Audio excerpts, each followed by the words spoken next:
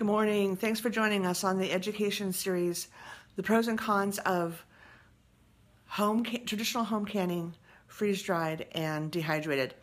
Sorry for the technical difficulties. We're going to do a reshoot. I guess that's the wonders of Facebook Live, when, especially when you're technology challenged like I am.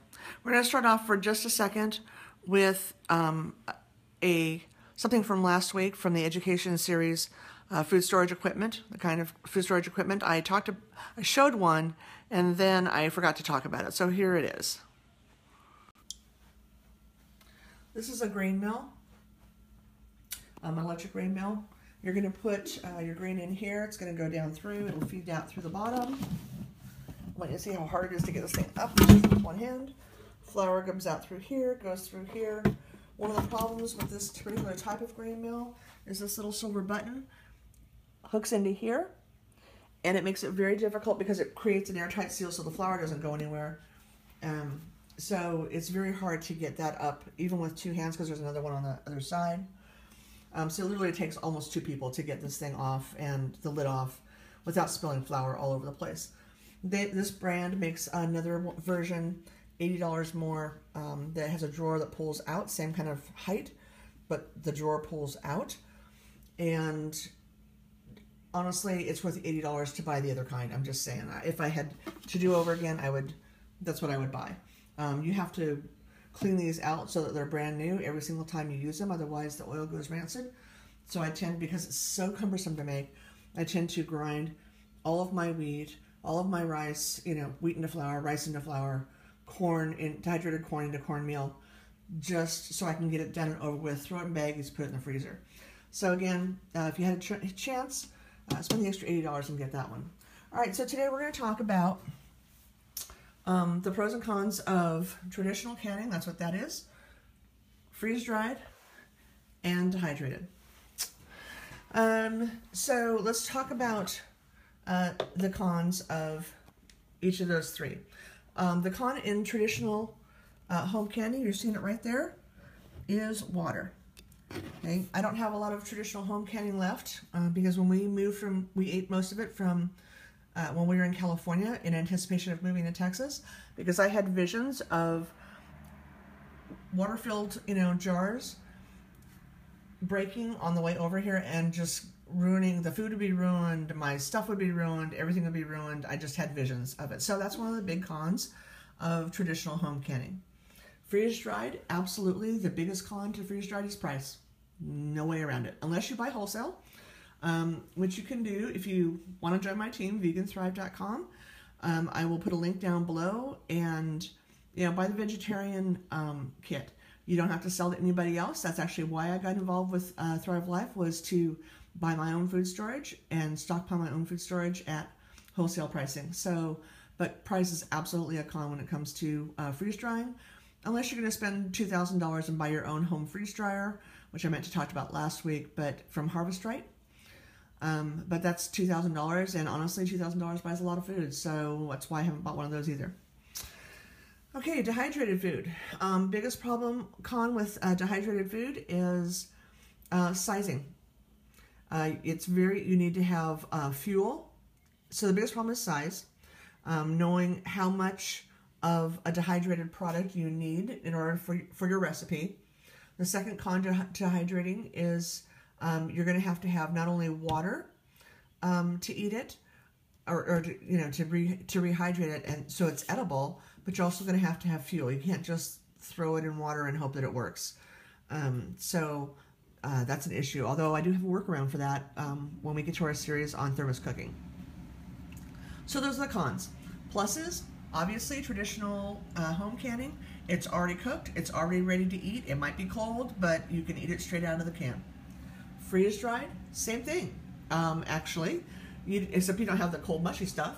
Um, it's going to be ready to eat right out of straight out of the can.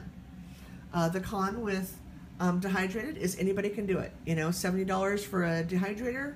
Buy a bunch of vegetables, or if you grow your own, the food's free.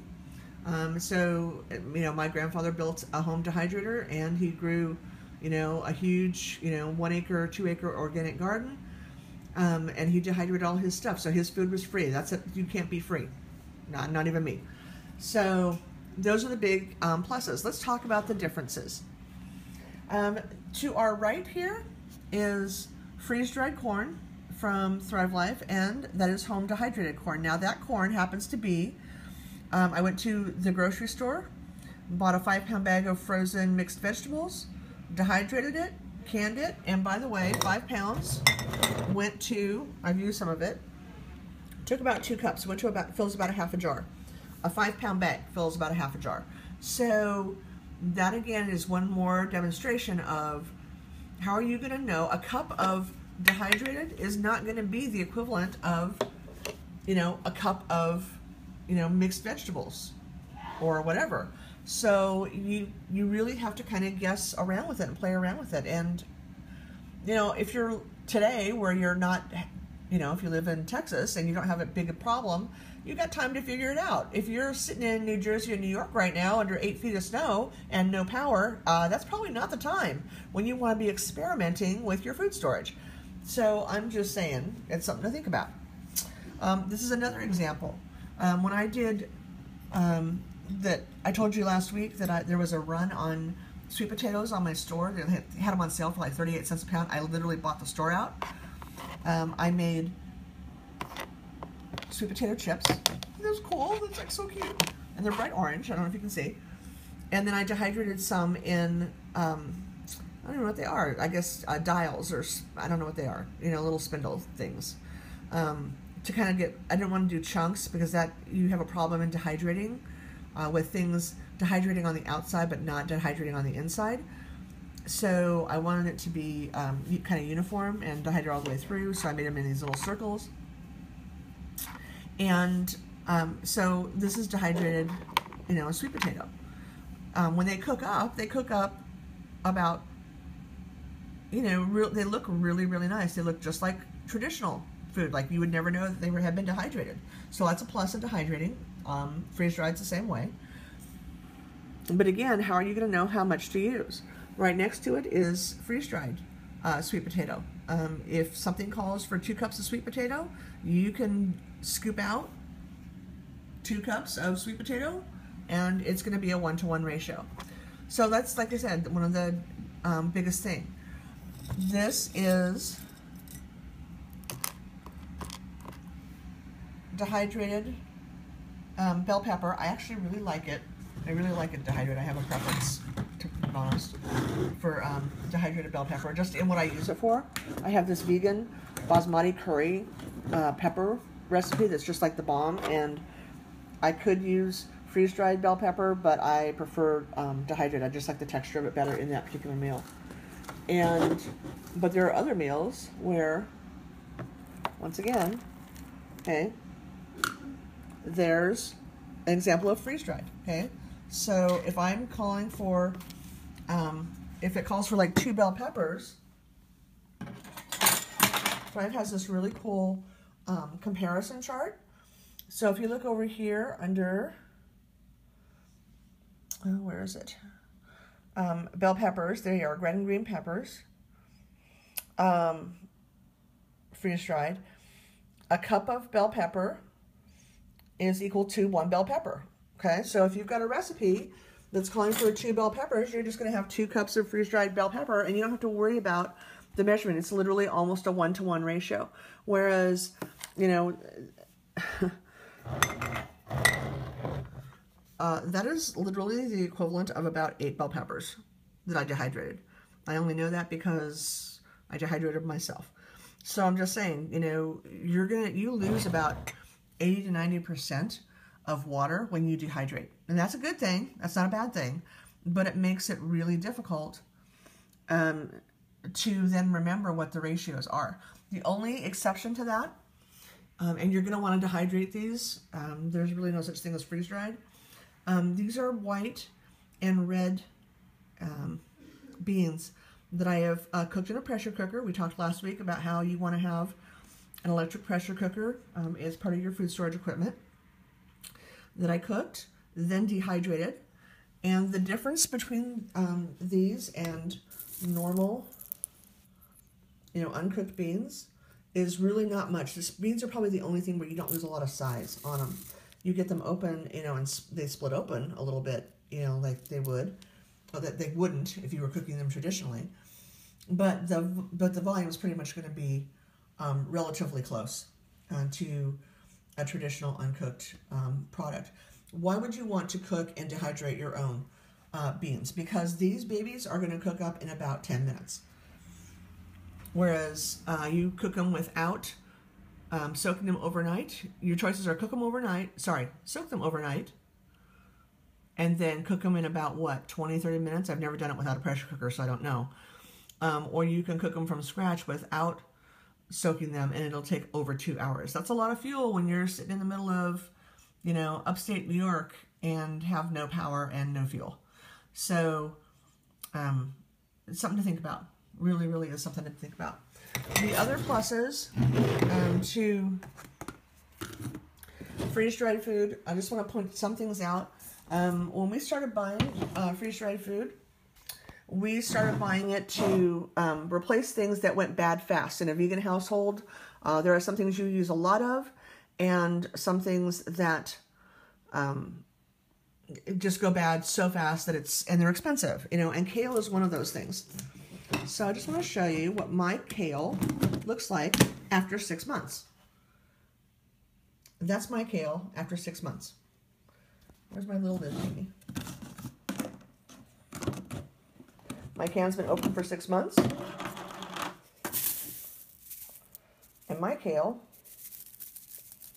looks just great. And not only that, but you know what? The freeze-dried process, for some reason, the freeze-dried process in kale takes out that kale dirt taste. You know, if you use a lot of kale, you know what I'm talking about.